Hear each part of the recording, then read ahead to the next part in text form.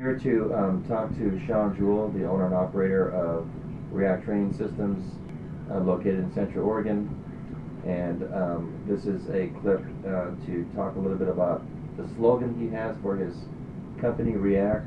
Which, by the way, what does React stand for? That's a reality environment applied combat tactics. And we talked about that in, in a prior video.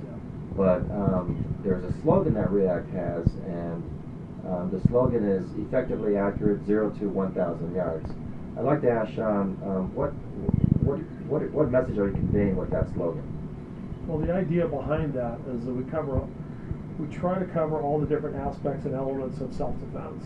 And we know that, you know, with uh, citizen personal defense, it might be a home invasion or an ATM robbery or a kidnapping or, you know, some type of assault situation. It could be many different things. And these, these can occur at anywhere from literally touch contact ranges. We see a high statistical rate of, uh, of you know, robberies and, and uh, threat engagements from very close distances. And so the, the things that uh, might be a ground fighting incident, it might be a standing assault incident with uh, physical techniques, it might be a few feet away, a few yards away, or even you know quite some distance away.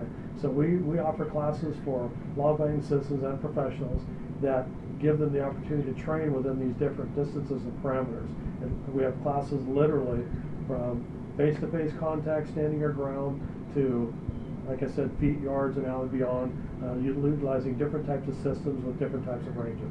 So your classes um, encompass uh, the different systems that you teach that they're going to need for these different threats. They're going to need for these different threats, exactly. It might be an active shooter at your church or the mall or somewhere else where they're some distance away, or literally it might be a face-to-face confrontation. Okay, and will these classes uh, be available for uh, law enforcement, security, and for lay people? We do have specific classes, so there's some specific classes for security professionals. Uh, have to do with certification and remediation and annual refreshers, requalifications if they're armed officers, that sort of thing. And then specific to tools or implements that they would carry. We do have law enforcement separate classes, they're specific to sworn officers only, as, as the sworn officer has a different duty to act within different circumstances. So they're law enforcement specific and street type defense and uh, close quarter engagements. Uh, some of the I work with the DPSST here in Oregon, also ILFE, International Law Enforcement Organization, as an instructor.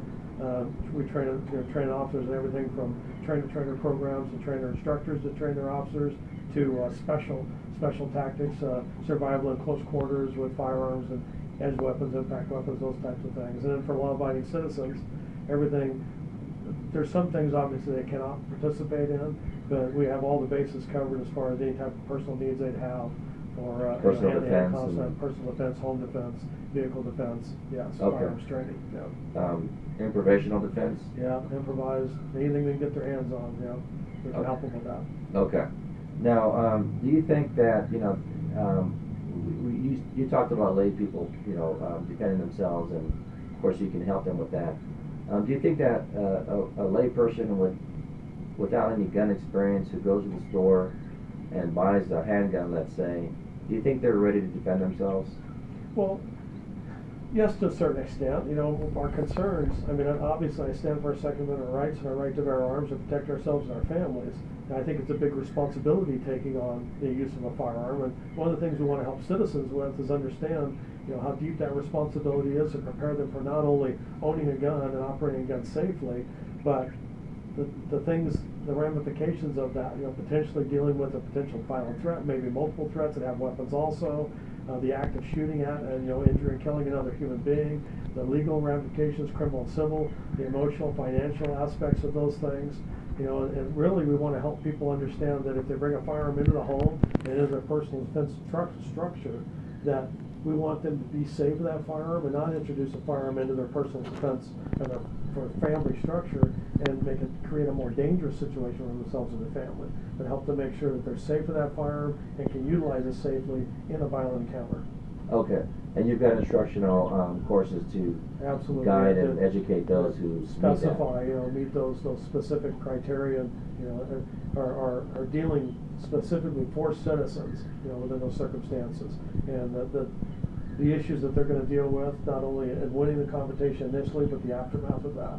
You know, and how to do it as effectively and safely as possible. Okay. Well, thank you very much today, Shawn. Thank you.